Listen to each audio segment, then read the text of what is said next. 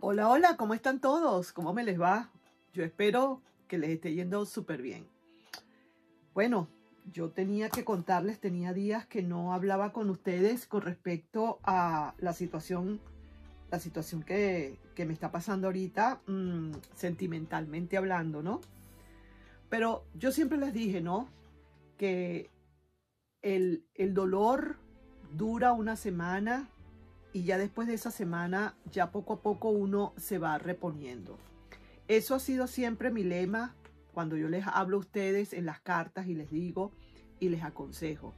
No solamente porque lo esté aconsejando el tarot, sino porque yo personalmente tengo ese estilo. Al principio es duro, eh, duele mucho, eh, te martirizas, piensas que esto ya es el fin del mundo. Claro, yo soy humana, por supuesto que me tiene que lo tengo que sentir así.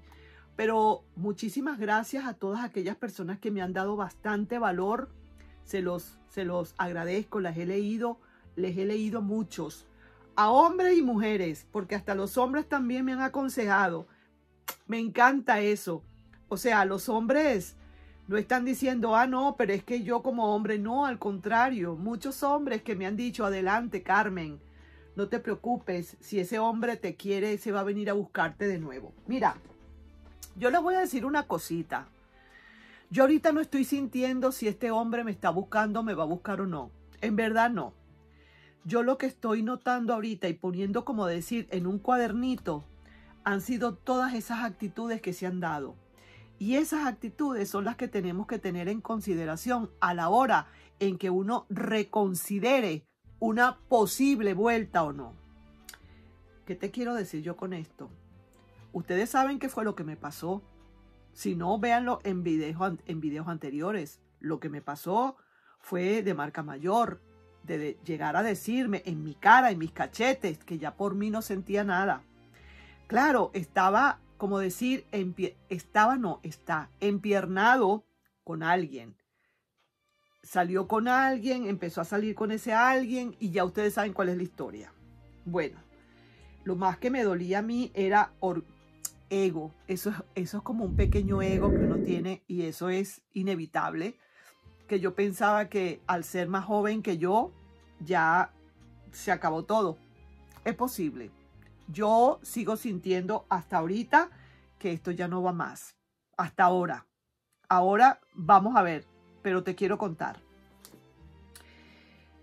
Yo les había dicho a ustedes que eh, la, mi cuñada eh, me había insinuado que por qué yo mejor no era la que me iba de la casa. ¿Se recuerdan que les dije eso? Y que muchos de ustedes me dijeron, no, Carmen, no, eso no lo hagas, eso, que se vaya él. Es más, un hombre, un chico, un amigo, me dijo, deja que sea él el que se vaya, tú no tienes por qué irte. Pero yo también me puse a pensar, tú sabes, pendejadas de uno. Que no, que mira, que él tiene muchas cosas aquí en, el garaje, que tiene muchas cosas guardadas, que yo realmente no tengo mucho, sino que tengo mis cositas aquí, mis, mis cartas, las tengo aquí, todas mis cartas, y que en verdad si tengo muy poca ropa, yo no gasto mucho en, eso, yo más que todo gasto en, en coleccionar mis tarot, y eso es lo que me gusta hacer, pues, y ese es mi trabajo. Tengo mis luces aquí, tengo mi estudio. Quizás eso sería lo único que yo tengo y que tendría que movilizar al lado de tantas cosas que esta persona tiene en, el garaje, en la parte de abajo del sitio donde vivimos.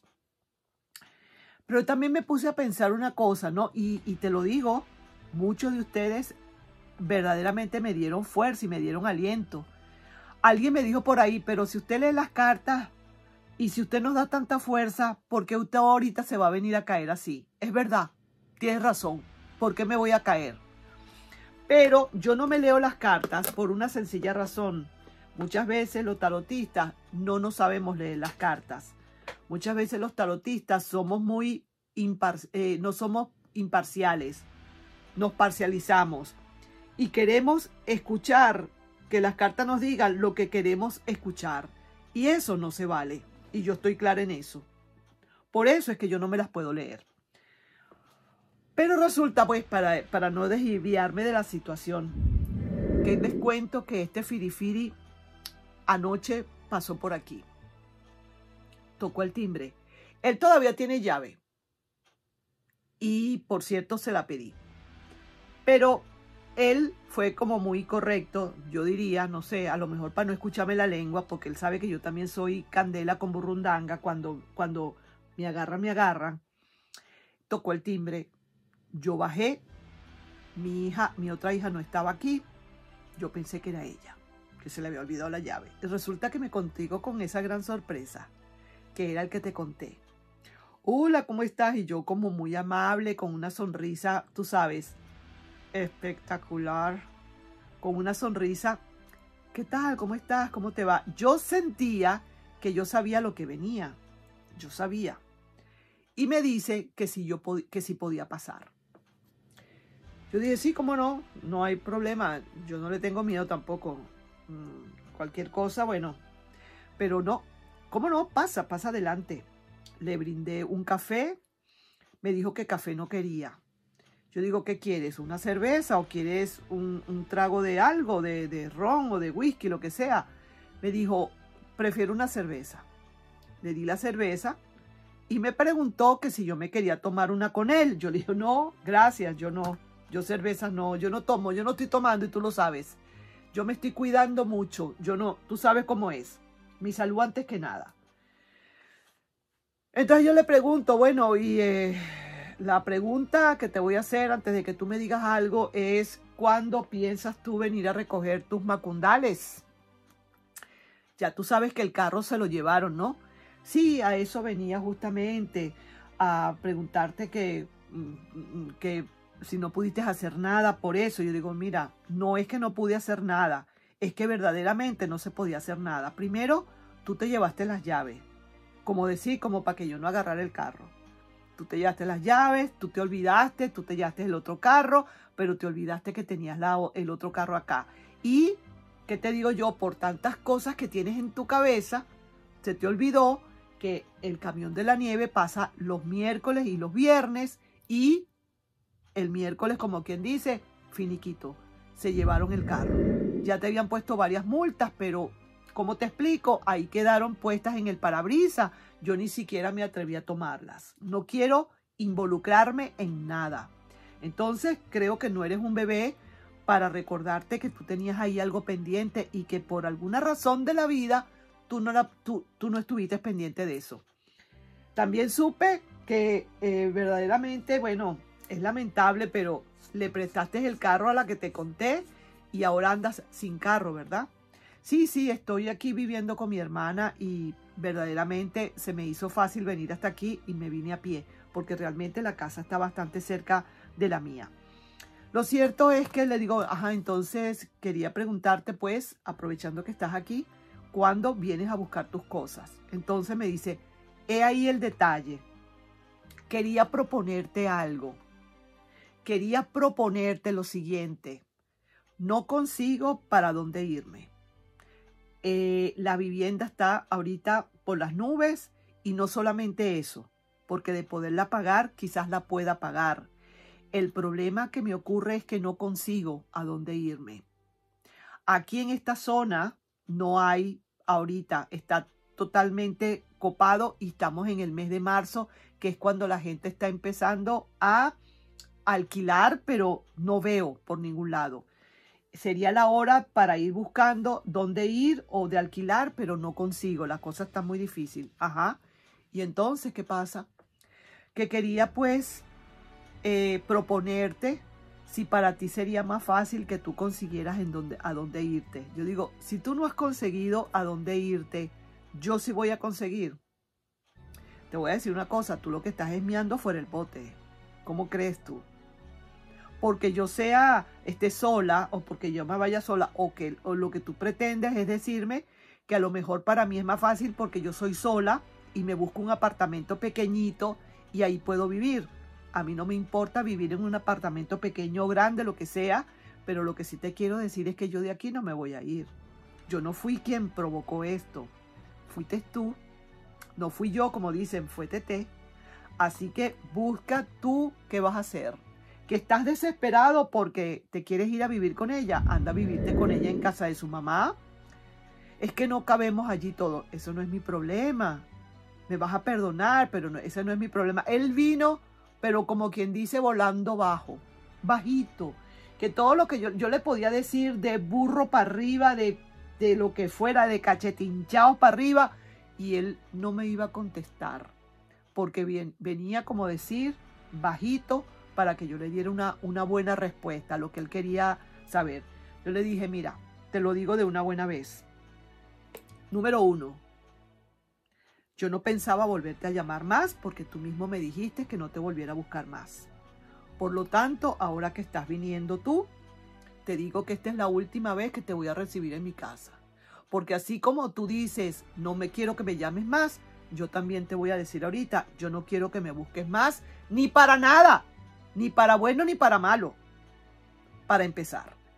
Y segundo, te doy plazo de un mes, fíjate tú si soy tan buena onda, que te voy a dar plazo de un mes para que recojas todos tus macundales y que te vayas para el Cayotunay.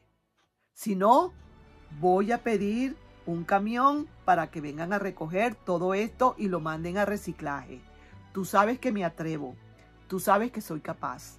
Tú te atreviste a tanto, yo me atrevo a mucho más. Así que estás avisado. Lo voy a poner por escrito y voy a hablar también con mi abogado y le voy a decir, voy a pienso hacer esto y esto y esto y esto. Y él o ella están avisados. ¿Ok? En todo caso, él y ella también. Que ella busque también, que, resuelva, que no pueden eh, vivir todos juntos. Bueno, que ese es su problema que la mamá de ella no lo puede, no te puede aceptar porque son muchos. Lo siento mucho, ese no es mi problema. Así que te pido por favor, te doy un mes para que recojas todos tus macundaleros y que te me vayas para el Callao y te lo repito. Entonces quiere decir, me decía, buscando la manera de, de, de conmocionarme, ¿no? Como buscando la manera, ¿cómo te diría yo? Como buscando la manera de, de, sentirse, mm, de manipularme. Eso es, esa es la palabra. Entonces quiere decir que en el fondo esto te fue muy bien a ti, el haberme yo oído de tu vida. Quiere decir que entonces tú no me querías como tú siempre decías. Eso no es tu problema. Ahora le dije yo. Lo que yo sienta o no sienta por ti, eso está de más. Eso no te interesa, eso no es tu problema. Si te quiero o no te quiero, si dejé de quererte o te adoro o me estoy muriendo o no, o estoy viviendo la vida loca porque tú te fuiste, ese es mi problema. Aquí no vinimos a eso, o espero que tú no hayas venido a eso. Tú viniste fue a que yo, si podía desocuparte de esta casa. Para empezar, el contrato lo tengo yo. Ese es el rollo tuyo que como el contrato lo tengo yo y está a mi nombre, entonces tú estás allí en ese rollo. Pero lo siento mucho. ¿Quién me dice a mí? ¿Quién me dice a mí para empezar? Ponle tú que yo soy buena gente y que yo digo, sí, yo te quiero, yo te quiero ayudar, porque es verdad que yo soy eh, la Teresa de Calcuta y yo te voy a ayudar. Tú me das aquí y yo voy a poner otro cachete para que me des. Ponle tú que así sea el contrato está a mi nombre. ¿Quién te dice que a la larga y a la hora de la chiquitica yo tengo que responder también por esto? Ah, no lo sé. Así que, mira, ahí la dejamos. Así que, si no tienes otra, otra cosa más que decirme, yo te agradezco pues que te vayas, te, te vayas porque ya yo me voy a ir a acostar, me voy a dormir. Yo necesito hacer mis meditaciones que estoy haciendo, que yo siempre hago. Y te digo que estoy bastante bien. No has preguntado por mi salud, pero te diré que estoy mejor que nunca. Así que ahí las estamos dejando. El tipo se fue, yo creo que si dijo 10 palabras fue mucho, porque yo no lo dejé hablar, pero para nada lo dejé hablar. Y, ¿qué te digo? Le, le di la importancia en ese momento que esto merecía. Y te digo una cosa, o les digo, mi gente, la meditación me ha ayudado harto, me ha ayudado mucho a mantenerme, como quien dice, en mi altar. en que en ningún momento esa persona pudo, haber notado que realmente yo me estaba muriendo o que me estaban temblando las piernas. Porque sí es cierto, no lo voy a negar. Yo todavía sigo sintiendo algo por ese muérgano. Pero, ¿qué te digo? Pues eh, eh, hay que seguir adelante. Y mientras más pase el tiempo y mientras yo mantenga voluntad y firmeza y valentía para eh, afrontarlo y mirarle a los ojos y hablarle con la mirada fija, más eso me va a mí a fortalecer. Así que ahí les estoy dejando yo con esta, esta, esta, este chisme de ayer en la noche. Y bueno, vamos a ver qué pasa. Yo creo que ya me han visto que tengo la cara un poquito más tranquila a como la semana pasada, ¿verdad? Ya me estoy sintiendo un poco mejor y te les digo, mi gente bella, uno puede, uno cuando quiere y cuando uno siente que la dignidad está por encima de todo, uno puede. Así que que les sirva esto de, de espejo a ustedes, que les sirva como de ejemplo. Ahí nos estamos viendo. Un besito y les vuelvo a agradecer a todos, sobre todo los hombres, mis amigos que de verdad me dejaron súper, me dejaron verdaderamente pasmada con lo que me decían, con el hurra hurra que me dieran, el upa upa que me daban. Ahí les dejo. Un besito. Bye bye.